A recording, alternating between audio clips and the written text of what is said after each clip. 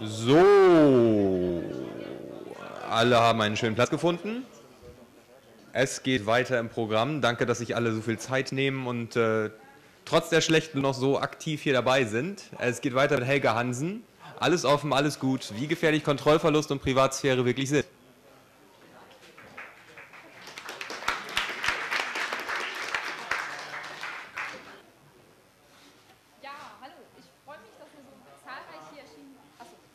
Muss ans Mikro reden, Entschuldigung. Äh, ich freue mich, dass hier so zahlreich erschienen sind. Ja, das Problem ist, das blendet jetzt total. Aber kriegen wir auch hin.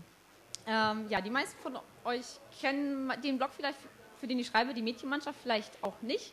Es ist so das größte feministische Webblog Deutschlands seit 2007 und ich bin seit 2009 dabei und äh, verfolge auch Datenschutz und äh, auch die Post-Privacy-Debatte schon eine Weile länger.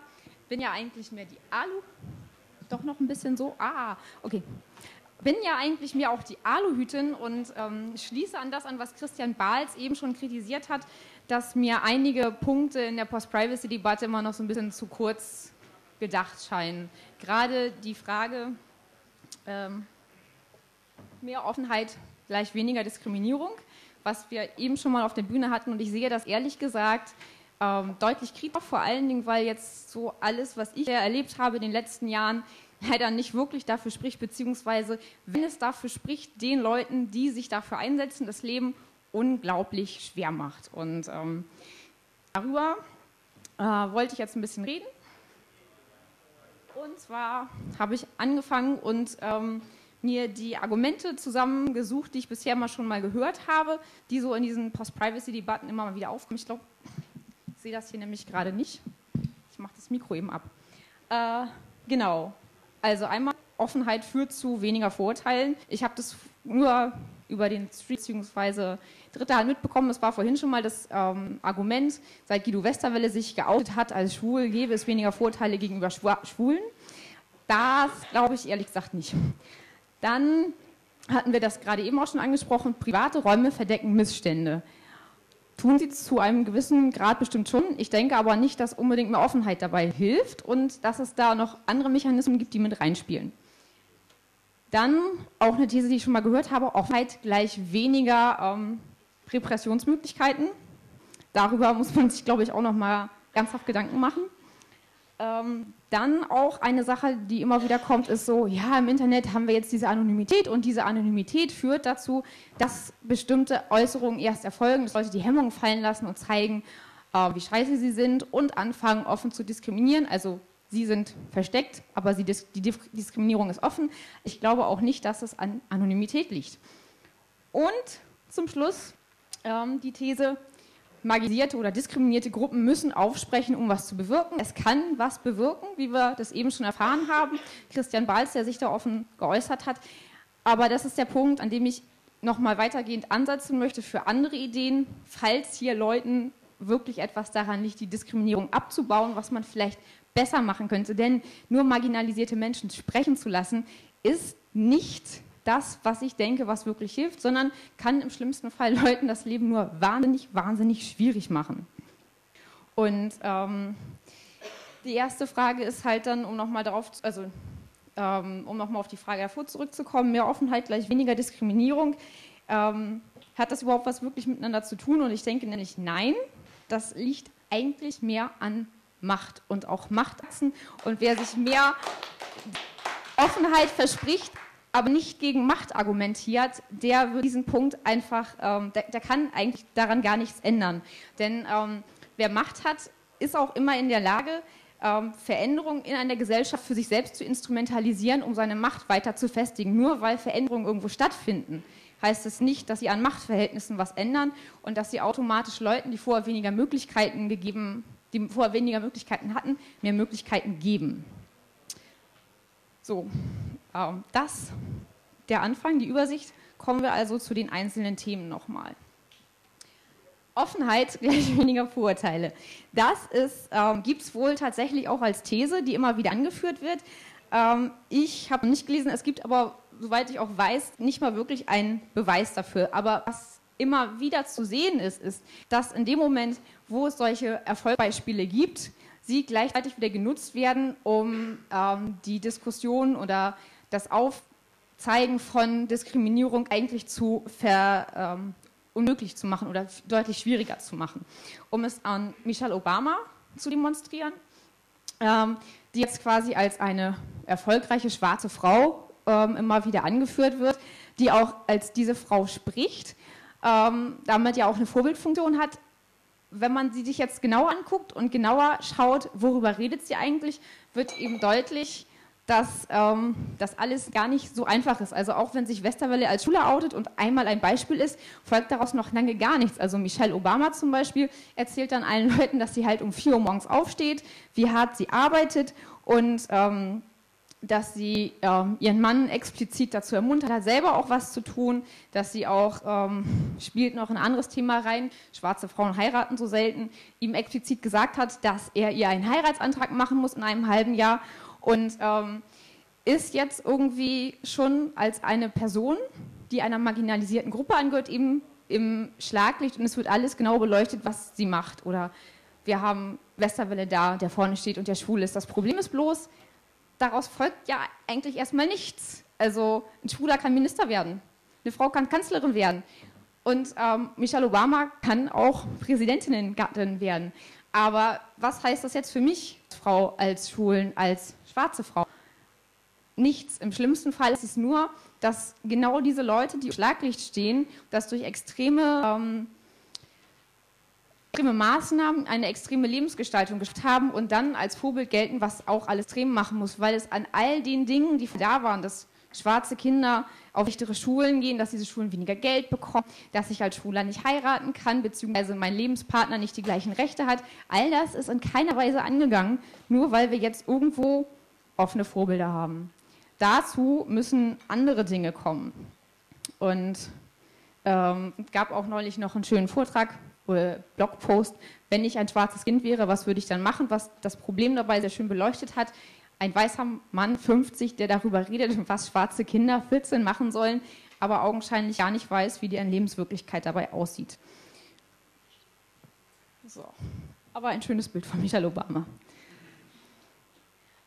Und ähm, die nächste These, Privatheit versteckt Missstände. Ich habe jetzt ein eigentlich überhaupt nicht mit dem Internet zu tunes Bild quasi rausgesucht, ähm, wo aber deutlich wird, dass ähm, die Probleme, die tatsächlichen Probleme, die irgendwo da sind, dass die manchmal wirklich auch direkt in der Öffentlichkeit sind und kein Mensch sie in dem Moment thematisiert. Also nur weil etwas offen ist, wird es noch lange nicht als Problem anerkannt oder wird es als Problem thematisiert. Zum Beispiel hier sieht man links dieses Mädchen, da steht dann, ich weiß nicht, ob man das gut lesen kann, sie lässt heute noch alle Hemmungen fallen und daneben den Mann mit diesem Handy, er stellt sie später nackt ins Netz. Ähm, ein Beispiel für den Kontrollverlust hier instrumentalisiert in dieser Kampagne Kenn dein Limit, um jungen Leuten zu sagen, dass sie halt darauf aufpassen müssen, was passiert. Darüber, dass es halt diesen Kontrollverlust gibt, kann man natürlich auch sprechen, aber was mir persönlich jedes Mal auffällt, ist, da ist ein Mann, der so impliziert dieses Bild etwas tun wird, nämlich diese Nacktbilder ins Netz stellen, wofür er keine Genehmigung von ihr bekommen hat. Und das wird in gar keiner Weise thematisiert. Nachher ist sie noch sogar 16. Damit ist es schon wieder Scheinkinderpornografie und ist eigentlich noch wieder ganz gefährlich. Für ihn auch noch gefährlich, noch wieder ein anderer. Aber hier wird eigentlich nur gesagt, dieses Mädel muss aufpassen, weil ihre Bilder könnten im Internet landen. Und die ganzen gesellschaftlichen Implikationen dahinter werden nicht thematisiert, sondern die werden einfach angenommen. Und das steht so. Und ich habe noch wirklich nirgendwo gelesen, dass Leute gesagt haben, Moment mal, hier passiert sowas und es passiert unter unserer Nase. Und das ist ja also öffentlicher, als seine eigenen Vorurteile so aufzuschreiben, geht ja nicht. Aber da passiert nichts. Also ähm, an anderen Stellen ist es auch so gewesen, dass ähm, Privatheit nicht unbedingt Missstände versteckt hat, sondern dass zum Beispiel die Prügelstrafe in der Schule früher extra instrumentalisiert wurde, um schlechtes Benehmen zu bestrafen. Das hat sich jetzt verschoben und ähm, das macht niemand mehr öffentlich.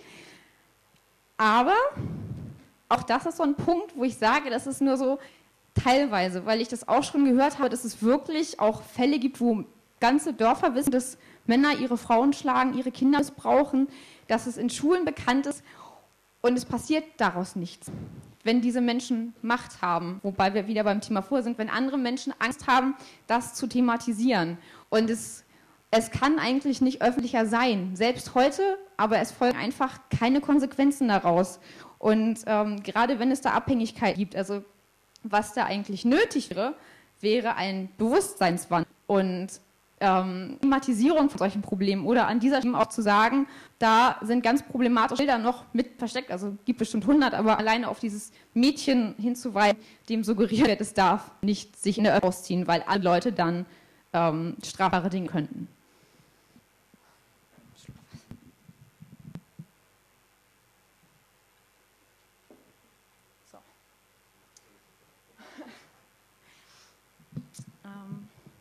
Ja, nächster Punkt. Offenheit gleich weniger Repressionsmöglichkeiten. Wenn ähm, jemand in aller Öffentlichkeit sagt, ich bin schwul, kann er damit nicht mehr erpresst werden. Dazu fällt mir eigentlich ehrlich gesagt nur ein, what the fuck? Ähm, was ist überhaupt das für eine Argumentationslinie? Ähm, die Erpressung ist das, was strafbar ist. Es schließt an, was ich eben gesagt habe. Ähm, wo ist überhaupt, warum setzen wir nicht, dass Leute überhaupt erpressen? Warum sagen wir, hey, ist doch super, wenn es weniger Erpressungsmöglichkeiten gibt? Ähm, äh, das ist so immer diese Linie, die sonst auch kommt bei Frauen, die vergewaltigt wurden, wo man dann, hey, hättest du meinen kurzen Rock nicht angezogen. Ähm, das Problem ist doch nicht, was die oder was die sind. Das Problem liegt auf der anderen Seite, da wo Leute eben daraus ähm, die ähm, Diskriminierung ziehen, beziehungsweise ähm, im schlimmsten Fall sogar Opfern von Straftaten die Schuld geben, weil man hätte ja X ändern können. Äh, ja, zu dem Punkt, ehrlich gesagt, so ein bisschen fehlen mir irgendwie die Worte. Ich weiß immer nicht so ganz, was ich da sagen soll. Ähm, genau. Kommen wir zum nächsten Punkt, der Frage, wie sieht es eigentlich aus mit Antität? Und ähm, aus allein meinem erleben bei der Medienmannschaft, kann ich sagen, Anonymität ähm, ist nicht das Problem unbedingt. Es gibt durchaus Leute, die schreiben mit ihrer richtigen E-Mail, mit ihrem klaren Namen, die absurden Kommentare und E-Mails und Bedrohungen. Andrea Nahles ist wahrscheinlich noch das prominente Beispiel. Sie ist ja vor einiger Zeit in Elternzeit gegangen, hat eine Tochter bekommen, glaube ich, und ist danach zurückgekehrt in Politik und hat das offen thematisiert, was jetzt auch macht, ist damit mal eines, eine der wenigen ähm, Politikerinnen, die das eben machen, die auch dafür kämpfen, vereinbart Beruf und Familie. Und ähm, dann hat sie offen gezeichnete Briefe bekommen mit Adresse, in denen sie geschrieben haben, boah, was sind Sie für eine schlechte Mutter, können Sie das machen? Und sie wirklich auch beleidigt haben und, und bestimmt auch E-Mails und was nicht alles, ähm, wo klar war, welche Menschen das sind, die aber der Meinung sind, dass ihre, ihre Ideen, sogar ihre Beleidigungen ähm, gerechtfertigt sind und dafür mit ihrem klaren Namen stehen. Deswegen kann natürlich sein, dass das Internet, oder passiert vermutlich auch, dass das Internet mehr Leute in der Anonymität dazu und hat, das zu tun. Er liegt auf jeden Fall aber in Anonymität, denn diese Menschen existieren ja. Und ähm, ja, man kann, wir haben dann sogar mal tatsächlich in einem Fall von jemandem andere E-Mails bekommen, der meinte, wir möchten noch mal bitte Kommentare aus dem Internet nehmen. Ähm, er hatte eigentlich seine Meinung geändert, ihm war dann aber aufgefallen, dass es vielleicht blöd wäre, wenn man googeln kann, dass unter seinem Klarnamen Haare stehen, wie scheiße wir sind. Äh, ja. Wir haben das dann tatsächlich nicht gemacht. Ähm, zensieren wirfen wir uns mal vor, tun wir aber nicht unbedingt. Es, wir sind ja auch keine Stelle, wir können in dem Sinne gar nicht zitieren, so, äh, zensieren. So, und jetzt kommen wir zu meinem, was heißt Lieblingspunkt, zu dem wirklich schlimmsten Punkt, der immer wieder kommt, nämlich dass Menschen, marginalisierte Gruppen müssen sprechen, damit sich irgendetwas ändert. Und sie müssen aufsprechen und, und offen machen, denn ansonsten ändert sich nichts. Und ähm, da fallen mir, glaube ich, 100 Millionen Beispiele ein, wann das wirklich auch nicht nur unangenehm kann, sein kann, sondern auch gefährlich sein kann. Das letzte Beispiel hat ähm, Map auf Twitter getwittert. Von Skeptic hat das eine berühmte Atheistin quasi aus den USA hat das an diesem Reddit gepostet, What My Super Religious Got Me for Christmas. Und zwar das Buch Sagan, The Demon Haunted World, in dem es darum geht, das kritische Denken zu ähm, eben nicht einfach annehmen, sondern seinen eigenen Kopf anzustrengen, was man bei religiösen Müttern nicht unbedingt erwarten wird. Und ähm, das ist jetzt in diesem Atheism Channel drin. Ich möchte auch nicht näher darauf eingehen, dass, wo es jetzt, ähm, äh, was es vielleicht besser der Fall, äh, besser gepostet wäre. Aber auf jeden Fall ist es unglaublich, ähm, dass ein junges Mädchen zeigt, ich bin Atheistin, setze mich für kritisches Denken ein und bekommt 100 Kommentare, die größtenteils den, ähm, wie man seine Dankbarkeit zeigen könnte, indem man alle möglichen Körperöffnungen fickt. Bei einer 15-Jährigen wohlgemerkt. Und dann diverse Leute, die es immer leid und hochposten und es total okay finden, dass man darüber schreibt. Und ich weiß, es ist einige Leute schwierig zu verstehen, aber es ist nicht unbedingt angenehm, auf Internet seine Fickbarkeit ähm, dekliniert zu bekommen, auch wenn man 15 ist, wenn man 15 ist, auch wenn man älter ist und im schlimmen Fall das eben wirklich noch ähm, direkt vor sein zu haben, es nicht mal irgendwo geschieht, wo man es nicht mitbekommt. Und solche Dinge, da sind Menschen, die stellen, sich, die stellen sich öffentlich hin, die stehen für etwas ein, was vielleicht zum Beispiel auch in den USA gerade mit AT noch schwierig ist und kriegen dann solche Kommentare. Und äh, ich kenne auch viele Bloggerinnen, die äh, Morddrohungen, Vergewaltigungsdrohungen bekommen, all das. Und ähm, allein dafür, dass sie sich irgendwo hinstellen und offen über Dinge reden, finde das dann sehr schwierig einzufordern, dass Menschen noch mehr öffentlich machen, weil wir, weil es, weil sowas kommt, solche Shitstürme kommen, weil sich Leute darüber lassen, was man machen kann oder im schlimmsten Fall ihre dadurch ausdrücken, dass sie einem den Tod, Vergewaltigung androhen. Und die Frage, wen wollen wir dazu, wollen wir dazu überhaupt mitbringen? Ähm, so, wo, wo ist jetzt überhaupt die Verbesserung? Also vielleicht bringt das zum Umdenken, aber es bringt erstmal dazu, dass dieses Mädchen vielleicht Hause denkt, wo fuck, keinen Bock mehr drauf. Und ich kenne auch Leute, die sowas sehen und die sich dann davon abschassen. Und ähm, einfach sagen, ich muss, will mich aussetzen und ich kann das sehr gut verstehen, was ich schon alles erlebt habe. Gibt es dann irgendeine Tage, an denen man sagt, ich ertrage nur so viel Scheiße und danach möchte ich gerne irgendwohin zurückziehen, auch im Internet darüber hinaus wo ich nicht angenommen werde, wo ich nicht die ganze Zeit etwas, dass Leute alles an mir kritisieren, nicht im konstruktiven Sinne, sondern auch, weil ich Frau bin, weil ich irgendwas getragen habe, und, ähm, weil ich Atheist war. Ja, nicht mal, eigentlich nur, weil sie ist und ein Mädchen ist und man sie ficken könnte. Und ähm, das sind auch Dinge, die so sind, wo sich nicht viel geändert hat. Also es gibt ja Lesben, die sich nicht trauen, auf der Straße Händchen halten, weil ihnen weil sie das erlebt haben, die ihnen was nachrufen oder sogar versuchen, sich zu verbinden. Ähm, an anderen Stellen ist das ähnlich der Fall. Und, ähm, was ich auch mal wieder mit habe, ist, wenn sich Leute beschweren, dass sie jetzt was öffentlich gemacht haben, sie dafür missbraucht wurden, also Abuse haben, dass dann wieder die Sache kommt, naja, bist ja selber schuld, ne? Bist ja Mädchen. Dazu, naja, sie ist halt ein Mädchen und hält ein Buch in die Kamera. Sie denn?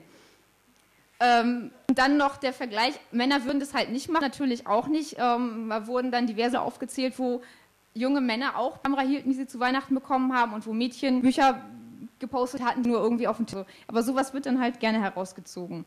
Und dann an anderer Stelle ich immer die Frage, vielleicht ähm, hat sie auch die Falschung angehabt, was ich eben schon sagte. Und meistens geht es dann immer mit einher, so ja, gerne öffentlich sein, aber eigentlich nicht halt Frau sein. Oder du darfst dann halt öffentlich sein, aber du darfst ziemlich zu schwul in der Öffentlichkeit sein oder zu wenig lesbisch. Und da haben wir schon all diese, die sich da hinstellen. Und es ist halt, es bringt's, habe ich einfach nur das Gefühl. Und ähm, deswegen finde ich es sehr problematisch. Und, weiß nicht. So, da fehlt noch eine Folie, aber ich habe geschrieben. Ähm, ich denke, was tatsächlich Dinge sind, die sinnvoller sind, und die notwendig sind, wenn man tatsächlich etwas gegen Diskriminierung tut oder dagegen, dass ähm, ähm, so etwas erfahren, muss man bei der Öffentlichkeit ansetzen, nicht bei der Offenheit ansetzen, sondern äh, man müsste zum einen erstmal anerkennen, dass Probleme sind. Das passiert nämlich auch noch viel zu selten.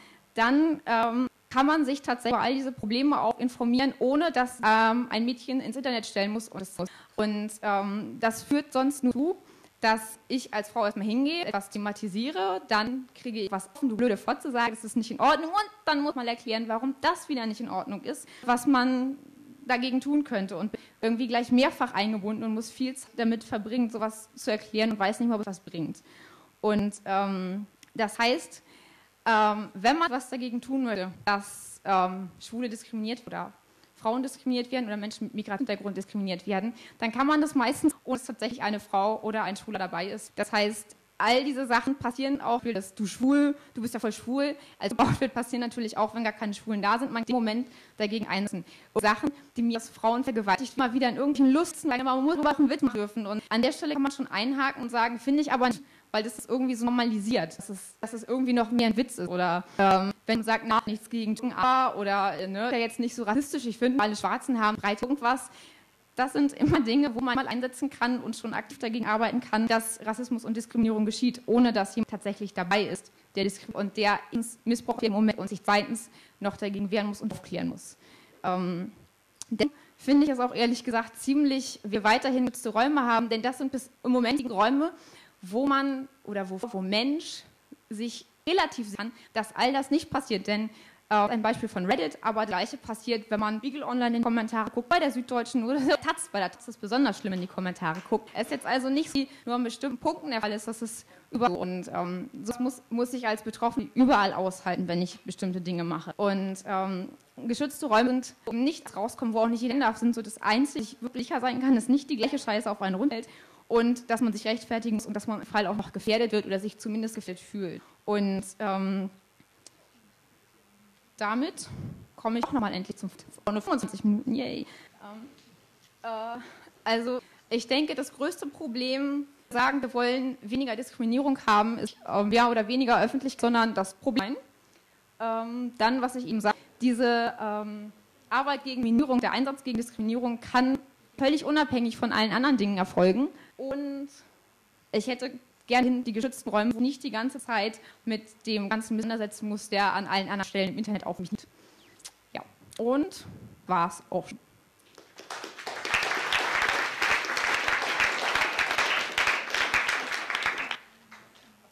Ich glaube, wir haben jetzt für Diskussion.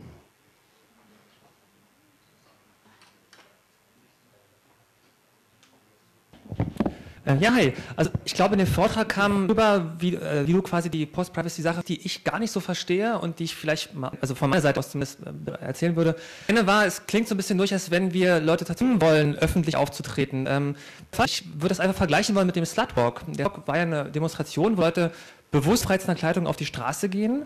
Nicht nicht nur, aber auch, auch vor allem, aber die Botschaft, wir wollen öffentlich können und wollen nicht diskriminiert werden. Es ging nicht um alle zu zwingen, äh, öffentlich aufreizend laufen zu müssen. Und ich, so ähnlich sehe ich die Post-Privacy-Sache so. Ich will die Möglichkeit, mich öffentlich äußern zu können, ohne dass ich da Erklärung erfahre. Und das ist heute noch nicht erfüllt und nicht überall möglich. Das Ziel, das große. Und noch anderes, ähm, du hast ein bisschen gesagt, Öffentlichkeit bringt ja oft wie ordnest du dann in dem Zusammenhang die Zahlen, die mir aus der Geschichte einfallen? Zum einen, es gab 1970er Jahren Titelbild mit ganz vielen Frauen und da stand drauf, ich habe Und das andere, der Christopher Street Day, wo Schwule auf die Straße gegangen sind, noch als es sehr stigmatisiert diskriminiert wurden und öffentlich gesagt haben, ich bin schwul. Wie ordnest du das ein? Hat es gebracht? War das? Und so weiter. Ähm, die Frage, ja, ich habe das, äh, höre ich das aus der Spackeria ähm, wollen ja niemanden zwingen, uns komplett öffentlich zu machen. Das ist aber auch schon mal anders gehört, weil ich so im, im Sinn, am Ende will man was anschreiben als so zu offen sein. Aber das ist der Punkt, an dem schon Konstanze Kurz und, und äh, Julia Schramm irgendwie Liedcamp meinten irgendwann, naja, wir wollen ja irgendwie niemanden, aber wer das öffentlich machen möchte, der darf es auch öffentlich. Das ist irgendwie so ein bisschen so der Punkt, äh, an dem sich vielleicht auch äh, Dartbewegung und Spackeria missverstehen.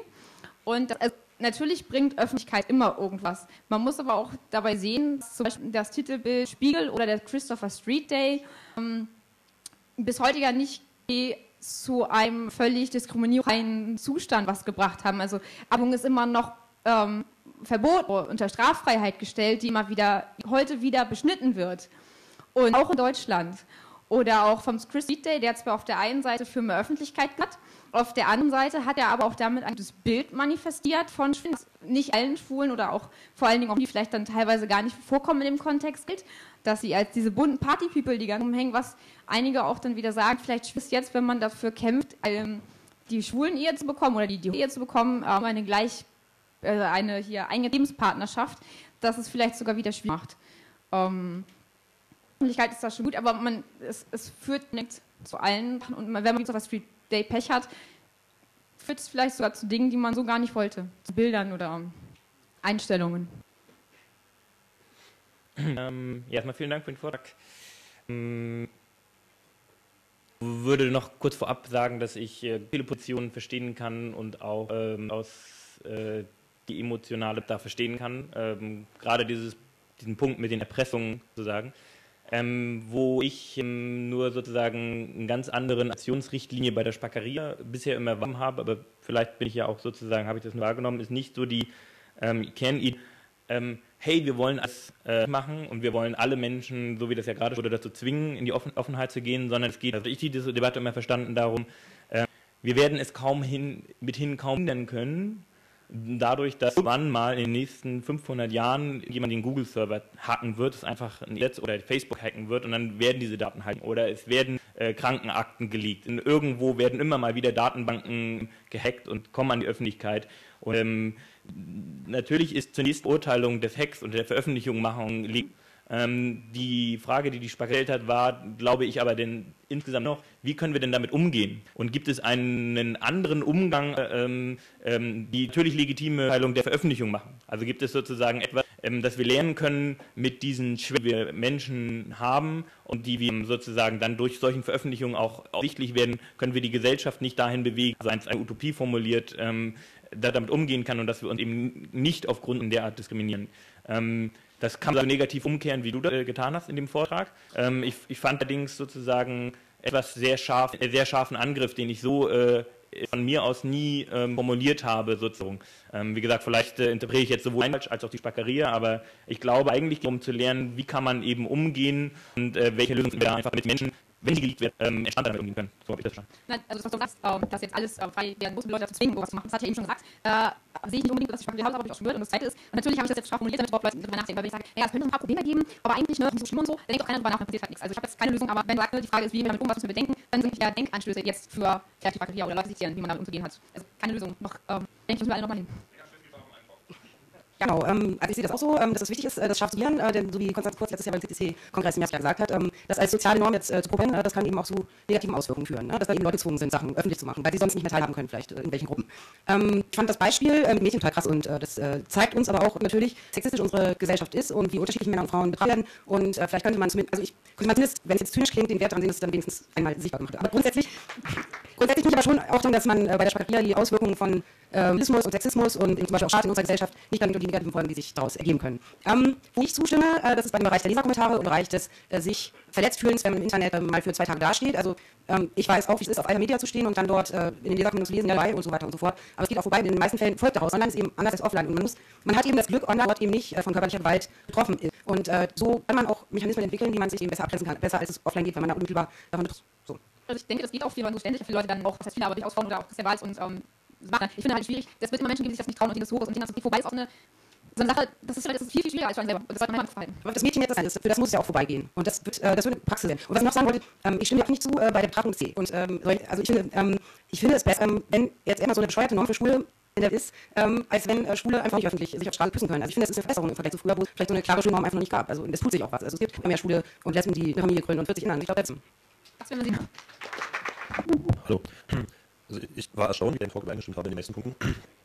Bloß ich hoffe, ähm, dass bei dir nicht das Missverständnis äh, vorliegt, dass entweder wir äh, Datenschutzkritiker oder jetzt Spakrier äh, ihr als ultimative Lösung für das Problem sieht. Es ist ein Lösungsversuch. Es ist nicht, ob es so funktionieren wird. Es steht im Raume, genauso wie verschiedene andere Modelle, die Welt zu verändern, dass es möglicherweise könnte, ob es klappt, wenn es durchgesetzt ist. Das heißt aber nicht, dass alle es machen müssen, genauso wie ich nicht von ganz früh erwarten kannst, dass sie einer Kommune wohnen oder so Blödsinn. Ähm, einfach nur im Endes, Menschen sagen hinterher, entweder es klappt oder es klappt nicht. Und von uns äh, ist irgendwie äh, kritisches um Datenschutz, wenn Datenschutz an sich ja sowieso so ein, so ein Schlagwort ist, schützen Wie gesagt, es aber ist, sind die Daten auch weg.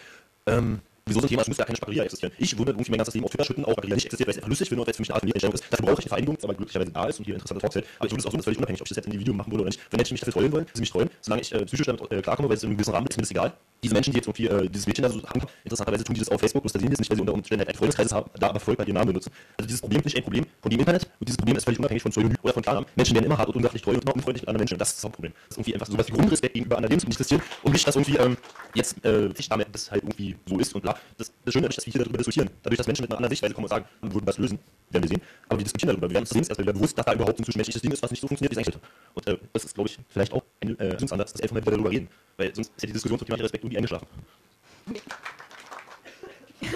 Ich glaube, das kann man runter machen. Okay. Jetzt wurde mir ein kleines vorweggenommen, was ich eigentlich fragen wollte, und zwar geht es um dieses konstruktive Problembewusstsein, das du angesprochen hast und was ich auch sehr richtig wichtig finde. Und meine Frage wäre an dieser Stelle, wie du es gerne schaffen wollen würdest, dass es dieses Problembewusstsein gibt, also dein Weg sozusagen. Na, im Moment ist es ja so, dass ich zum Beispiel auf feministischen Webblog schreibe, wo wir das versuchen zu thematisieren. Ich fände es aber auch wirklich super, darüber hinaus auch Leute, die, weil sie eben sind, weil sie nicht schwul sind, weil sie nicht Migrationshintergrund haben, sich auch mit diesen Problemen immer wieder auseinandersetzen und auch selber Awareness schaffen. Denn im Moment ist es meistens so, dass nur die Betroffenen immer wieder darauf aufmerksam machen müssen, was schief läuft und dass das nicht in Ordnung ist und sich im Schluss rechtfertigen müssen, weil die, die Person gegenüber das Problem überhaupt nicht versteht und es nicht anerkennt. Und ähm, das war jetzt das, was ich zum Schluss gesagt hätte. Also überhaupt erstmal anerkennen, wenn bestimmte Menschen sagen, hier haben wir ein Problem, das Problem anerkennen und dann möglichst darüber hinaus selber damit auseinandersetzen und auch selbstständig selbst dafür das Problem bei anderen schaffen, beziehungsweise dann auch schon wirklich irgendwo, weiß ich nicht, sexistische, rassistische Werbung ist, wenn irgendwelche Plakate hängen, sich beschweren, da hinzugehen und ähm, da muss man eben nicht betroffen von sein, weil es manchmal auch schwierig ist, eben zu sagen, na, ich als Paar fühle mich jetzt davon diskriminiert oder sowas, ähm, weil dann natürlich auch wieder, was ich schon dachte, ist, ja, ja komm, hab dich nicht so kommend und man in ganz andere Situationen gerät. Aber ähm, ich weiß nicht, ob wir das ja auch irgendwo hochladen und so, ähm, da steht es ganz kurz drauf, die eine Folie müsste ich noch, aber ähm, dann könnte man es sonst auch nochmal nachlesen. Nur schnell, ja, stimmt, aber das ist ja gerade dieses, off also dieses offene, äh, Art damit umzugehen, wo ich jetzt nicht ganz den Unterschied auf diese Art sehen kann. Also, ähm, ähm, das, ja, ich denke, wenn man, ähm, oder der Punkt ist eher, dass man das im Moment noch sehr auf den Schultern Leuten lässt, die von diesem Problem betroffen sind und dass die dafür eben unglaublich stecken müssen und sich nicht findet, dass sie das machen. Ja, die bekommst du. Genau, das spricht ja eigentlich für diese Offenheit und für einen konstruktive, äh, konstruktiven Umgang mit der Sache und einen offenen Umgang mit der Sache. Ja, nur ich weiß, halt nicht, ob ich jedes 15-jährige Mädchen auf Reddit oder sonst irgendwo hinstellen möchte und sagen möchte, hey, ich bin ziemlich ja nicht. Nee, genau. Aber entweder sie es nicht, er macht es halt nicht, oder, ne, aber dann sollte es können, wenn sie will. Ja, super. Dann müssen wir was einstecken müssen. Ja, also ich fand den Talk äh, insgesamt sehr, gut und produktiv. Ich fand ähm, eine, äh, eine Sache fand ich tatsächlich ein bisschen irritierend, dass du ähm, halt äh, äh, dieses Anprangern, dass Öffentlichkeit noch nicht alle unsere gesellschaftlichen Probleme gelöst hat, ist, äh, so ein bisschen, ähm, also das äh, hat Julia schon ange ange äh, angeschnitten, ist ein Fortschritt, dass tatsächlich äh, wir den Abtreibungsparagraphen hinter uns lassen. Nee, das, haben wir nicht. Der. Der ist ja, noch oder da. das Abtreibung auf jeden Fall Strafbefreit. ist und das auf jeden Fall ist eine Normalität geworden ist, eine Relativität ist. Ne? Und also auf jeden Fall, ich finde es unverleugbar, dass es auf jeden Fall Schritte gegeben hat. Ne? Und da sollte man vielleicht ein bisschen fair sein, ja. Nur weil halt tatsächlich so das Pariser Erden noch nicht entstanden ist dadurch, ähm, es ist, ähm, ist nicht eine Diskreditierung sozusagen der Idee mit Öffentlichkeit der Gesellschaft zu verändern. Weil die eine Sache, die andere Sache ist, wo ich dir recht geben möchte. Und zwar in deinem Fazit tatsächlich, ähm, ich habe tatsächlich diese Erfahrung gemacht, dass ähm, es für viele, viele Leute enabling ist, ähm, um über bestimmte intime Dinge zu reden, wenn tatsächlich eine, ja, ein Schutzraum da ist, ne? also eine Plädoyer für Schutz. Ich würde aber tatsächlich das als eine binäre Sache sehen. Also ich habe das wirklich erlebt, ich habe das erlebt, dass halt genau solche Schutzräume ähm, es ermöglichen für Leute, öffentliche Dinge umzugehen und gerade solche Sachen rausblocken. Aber es gibt ja schließlich auch einen Grund dafür, dass die Mädchenmannschaft öffentlich postet. Und ich glaube, ähm, dass äh, die sich nicht ausschließen. Ich glaube, dass der Schutzraum definitiv nie das Ziel darf. Ich glaube, der, der Schutzraum muss immer als ein Tool gesehen werden. Als ein Tool, überhaupt Diskurs in Gang zu setzen, um ähm, Leute, die vielleicht erste Schritte in die Öffentlichkeit mit intimen und mit schwierigen Dingen machen, halt sie dazu befähigen, ihnen eine Stimme zu geben, auch wenn es erst keine öffentliche ist, ist erstmal ein Schritt gegenüber, sie müssen schweigen. Deswegen bin ich absolut dafür, rein aus Pragmatismus Schutzräume eine gute Sache sind. Ich glaube aber tatsächlich, dass sie nicht das Ziel sein. Sie dürfen nicht sozusagen der Endstatus sein. Ich glaube, der Schutzraum kann immer nur sozusagen nicht schöner Becken sein. Und ähm, irgendwann ähm, ähm, sollten diese Dinge legitim, egal wie schwierig sie sind, auch in der Öffentlichkeit diskutiert werden. Da braucht es dann auch Leute, die sich ihren Gesicht dahinstellen und das öffentlich diskutieren. Und das ist das, was die Mädchenmannschaft macht und deswegen finde ich das glücklich. Danke. Wobei, wir machen es ja auch nur begrenzt. Also in den Kommentaren nicht jeden Scheiß im Gegensatz zu Deutschland oder zur FZ, weil das uns doch schon wieder ein bisschen der Schutzraum gegeben, auch für andere Leute, die vielleicht nicht jede Kritik und jede Diskussion über ihre Persönlichkeit, ihren Körper, was auch immer aushalten wollen. Ja, ähm, ich für mich war die Quintessenz aus dem Vortrag, dass ähm, weder private Daten noch veröffentlichte Daten irgendwie ähm, die das die Lösung für alles sind und alles besser oder schlechter machen. Ähm, ich glaube, damit wir ähm, in einer postprivaten Gesellschaft, äh, wo Daten veröffentlicht nicht durch diese Daten mehr Diskriminierung erfahren, muss sich die Gesellschaft selbst ändern. Nur in einer Gesellschaft, wo Herrschaftsfreiheit im Vordergrund steht, äh, kann überhaupt Postprivacy was Tolles sein. Also erstmal auf jeden Fall dieses Thema, was jetzt angeschnitten ist, das ist natürlich immer ganz wichtig, dass äh, Finger mal eine Wunde reindrückt, da müssen wir darüber reden, das ist auf jeden Fall mal sehr wichtig. Aber ich wollte nochmal zwei Nuancen jetzt noch ansprechen, was du jetzt äh, angesprochen hattest dort mit ähm, Öffentlichkeit, Shaming, gerade in Foren. Da sollte man natürlich immer nicht vergessen, wo man der kulturelle Hintergrund liegt. Ich kann da mal erinnern an die Fälle, die vor zwei Jahren jetzt in Korea ganz extrem war, wo zwei bekannte Schauspielerinnen bzw. eine Sängerin wirklich in Selbstmord getrieben worden ist. Äh, anonymes Forenbashing, äh, was aber eben in der koreanischen Gesellschaft gerade ist, wo man dann eben ziemlich in sich gefaltet ist in der Öffentlichkeit, dass man eben sagt außen hin lächeln, lächeln, lächeln, aber man darf da nicht offen sagen, was man will. Halt in Internetforen wurde gerade ein innerlicher Shitstorm losgelassen auf diese Leute und äh, da no what, und wo die Leute nicht mit umgehen konnte. Wir in Deutschland haben natürlich den Vorteil, eine gewisse Diskussionskultur auch eine offene haben. Oder eben auch wie damals äh, in den äh, Leitmedien, wo damals in Paragraph äh, zum Abtreibung dort gesagt hat, Privatbetrieben, hat es natürlich auch was gebracht, dass es nach vorne gegangen ist. Also sprich, Leute offen darüber diskutiert, das Thema ist in den Medien gewesen, das Leute wurde privat diskutiert, das ist notwendig. Aber gleichzeitig kommt es natürlich immer darauf an, dass beides gegeben sein muss. Das heißt, Leute, die möchten das gerne privat diskutieren, es gibt Leute, die wollen das gerne in die Öffentlichkeit treiben. Aber ich habe selber mehr und privat eben schon mehrmals erlebt gehabt, dass Leute an uns angetreten, ja, äh, ich weiß, wie ihr lebt und so weiter, wollte das nicht irgendwie mal so Leute für TV-Shows oder sonst so. Wo ich mir persönlich sage, ähm, sei es jetzt um Bisexualität, Schwul sein, Poli oder was auch immer für ein Thema gibt, wo ich sage, okay, ich kann das nicht dazu stehen, warum soll ich nicht zu einer sagen wie RTL 2 oder wie auch immer diese Medien heißen oder passen, das warum ich dort öffentlich ähm, auseinandernehmen lassen, wenn ich mich einerseits mit dem Format nicht einig kann, weil ich nicht weiß, wie das Produkt ist und andererseits mich bringt es mir. Ich lebe so, wie ich bin, ich bin stolz darauf, habe kein Problem, das als Standard an, einfach mal sich so leben zu können, wie man will, aber ich mich gezwungen fühlen, ähm, bloß um eine Vorreiterrolle zu haben, mich sozusagen in allen Medien öffnen. Wenn ich es mache, mache ich es, ich lebe es aber einfach so und dann kann auch ein Standard werden. So wie halt Standard ist, dass man als Mann Hand in Hand durch die Straßen gehen muss, ohne Repressalien zu wischen, auch im Club und garantiert nicht weltweit, dass das noch ein ganz, ganz anderer Weg ist, aber ich finde, wir sind auf einem guten Weg, aber es muss die Balance an. Also nicht zu Druck in die eine Richtung, zu viel Druck in die andere Richtung, die Balance kommt dann einfach drauf rein. Aber ansonsten wichtig ist, dass man die Finger rein, deswegen ist das ganz gut. Okay. Eine Sache vielleicht noch, ich, also es ist ein, aber Online-Bashing oder irgendwelche Sachen, dass davon Leute, die Selbstmord geschrieben werden, nicht, in Deutschland jetzt tatsächlich gar nicht passiert, aber in anderen Ländern passiert nicht nur in Südkorea, das ist ja auch schon in England und Amerika passiert, also ich würde es nicht unbedingt auf kulturelle Hintergründe schieben. Das hat aber teilweise eben manchmal, also man kann eben nicht alles, das sind auch dass Fakten. das als ich sonst. Ja, vielleicht können Sie da zu, Wort kommen, um da mal was zu sagen. Aber ja, ich glaube, wir können das auch nehmen, weil ja noch langsam die Zeit genau, alles klar. Ganz kurz nochmal die, ich würde die Frage anreißen, wie, inwieweit hilft uns wirklich Anonymität dabei, diese gesellschaftlichen Probleme, die du beschrieben hast, uns recht zu lösen? Da würde ich, also das, das habe ich sozusagen leider noch nicht, also du hast so drei Punkte gesagt, die er individuell machen kann, die kann man natürlich auch schon seit Jahren machen und die werden leider, leider, leider nicht von allen getan. Und ich hatte auch sozusagen Teile hier sozusagen, das, was Michael gesagt hat, zum Beispiel, dass in dieser öffentlichen Debatte, auch wenn sie dann manchmal schmerzhaft ist, uns, uns weiterbringt. Und auch gerade, dass du dieses Beispiel, dass du eben sagen kannst, schau dir das an, hier ist ein freundliches Mädel, geht in die Öffentlichkeit und kriegt Tiefraum. Ja? Das kann man dann wiederum, kann man dann wiederum als, äh, als Aufhänger nehmen, um über diese Gesellschaft zu sprechen. Aber in dem hätten wir die Öffentlichkeit nicht, ähm, hätten, wir das, hätten wir damit nicht damit werden können. Also ich glaube, ähm, dass, dass die Nicht-Öffentlichkeit uns nicht weiterbringt, sondern nur tatsächlich die, die, die öffentliche Debatte. Und ähm, wie gesagt, ähm, weil du da noch Antworten hast, wie man das ohne Öffentlichkeit hinkriegen kann, ich sehr gespannt, also wie man da vorwärts kommt. Ähm, also das erste war jetzt, es hat nicht, oder der Vortrag soll einfach nicht so großartig in die Richtung gehen, wie jetzt unbedingt IT quasi für Betroffene ist. Also ähm, nur eher im Sinne von, dass sie in Räumen sind, dann Räumen, die nicht öffentlich sind, halt äh, nicht darüber austauschen, weil es natürlich auch genügend Internetforen gibt, wo sich Menschen Betroffene von Bildung oder anderen Problemen, oder vielleicht auch mit Krankheiten, äh, austauschen können, ohne identifiziert zu werden, was ich aber in dem Fall dann auch sehr wichtig finde. Und das zweite, ähm, klar, irgendwie bringt die Öffentlichkeit das ans Licht. Das Problem auch, das ist jetzt irgendwie das zehnte Mal so ungefähr, dass ich mitbekommen habe, mit diesem atheistischen Kontext, ähm, dass immer wieder oder junge Frauen irgendwo Videos machen, irgendwas erklären, versuchen eben das zu zeigen, auch weiter auch immer wieder die Frage kommt, warum sind so wenig Frauen Atheistinnen? Und das ist aber jetzt die erste Shitstorm war. Das ist der X, der irgendwo passiert, wenn sich junge Frauen zu Atheismus sind. Dass immer andere Menschen, die sich sonst auch als Atheisten sehen und wo man denken könnte, die sind zu einer Sache irgendwie verbunden, dass es jedes Mal wiederkommt. Dass ich, also selbst ähm, Hitchens, der ja nun inzwischen verstorben ist, war, hatte ich auch nicht dadurch, er ist. Das war ganz im Gegenteil. Das ist an anderen Stellen. Richard Dawkins ist auch schon durch sowas Sexistisches aufnehmen. Und ein wirklicher Bewusstseinswandel ist da immer noch nicht eingetreten. Also, wie oft muss so ein Shitstorm passieren, bis sich wirklich was ändert? Da bin ich noch skeptisch. Das ist einfach so mir die Quintessenz aus meinem Vortrag.